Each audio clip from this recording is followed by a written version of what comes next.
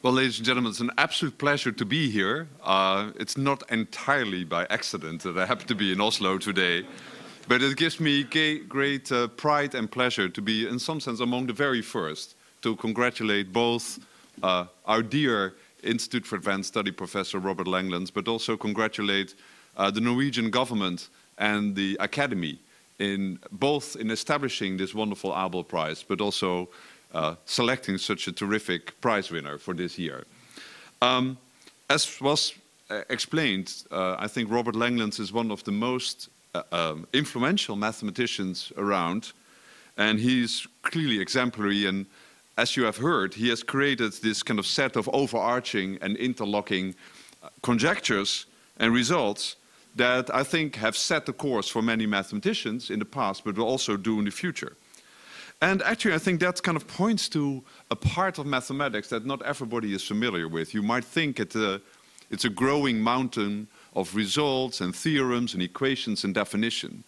But that there's something kind of overarching to mathematics that actually is much larger than any individual contribution, is something that I think is exceptionally well uh, illustrated by the Langlands program. It's very rare that these things happen. Some of us are reminded of the Erlangen program of Klein in the 19th century, who basically connected geometry and symmetry.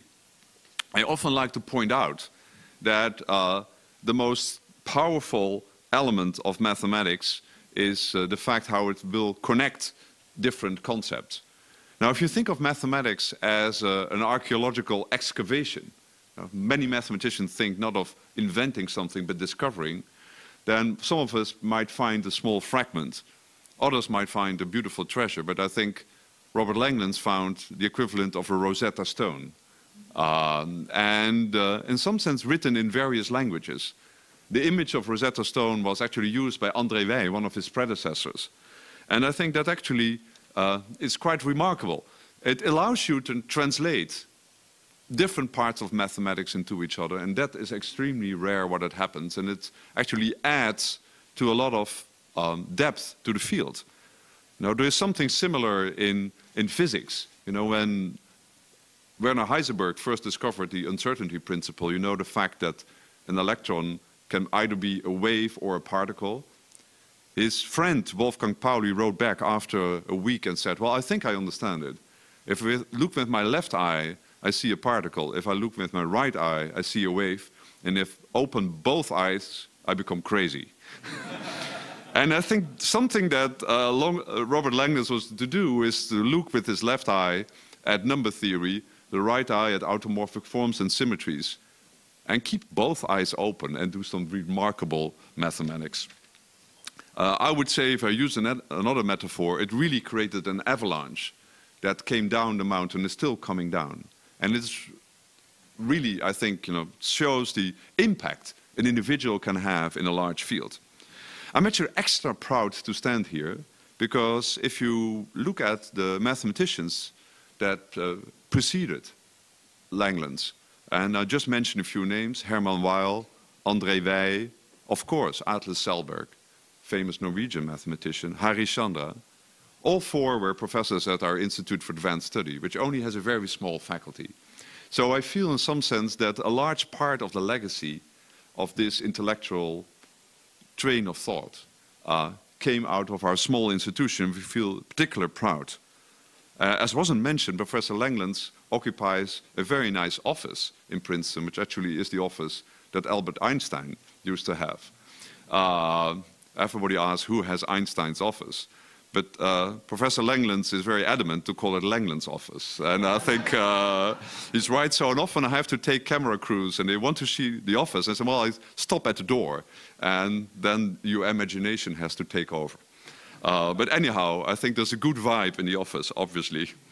Uh, I also want to point out that uh, Bob Langlands is a great uh, lover of languages. He speaks many languages. Um, apart from English and French, uh, German, Russian, Turkish. And it's a really beautiful metaphor for the kind of mathematics that you're honoring today, which is translating between the various kind of mathematical languages that, uh, that we have. And so uh, he also has, I think many linguists have this, that they enjoy the fact that there are common concepts, but also very much enjoy the local idiom and the pleasure that a particular language can give. Uh, in fact, his, uh, his work, it wasn't really mentioned in the uh, announcement, uh, impacted also large parts of physics. Uh, for instance, the dualities in physics between electromagnetism, the electric and magnetic description of physical phenomena seem to be very closely connected to the Langlands program. So it's, it's growing and growing, growing. Finally, I think I want to add that uh, for many of us, uh, Robert Langlands is an inspiration, if only the very close uh, relationship he has with his wife, Charlotte. They have been almost 65 years together. Uh, she's a sculptor. I really want to uh, thank and congratulate her, her too. Uh, made some beautiful uh, portraits of mathematicians that are standing around in Princeton. So she's very much part of it. Um, Robert Langlands is also somebody you already heard in his reaction that uh, feels very strongly about truth and honesty and doing good in the world. So I'm sure that he will kind of use this prize to, uh, to, to, to help uh, causes that he feels very strongly about this. Uh, the great thing of uh, the prize that you've awarded right now and the Langlands program is that it not only gives wonderful answers, but it generates many more questions. Uh, so I think it's somehow a gift, a gift uh, to the world that keeps on giving. I think that's also true for Professor Langlands himself, but it's also true for the Abel Prize. So I want also to thank you on behalf of uh, uh, the Institute for Advanced Study uh, for establishing this prize and honoring such a great mathematician. Thank you very much.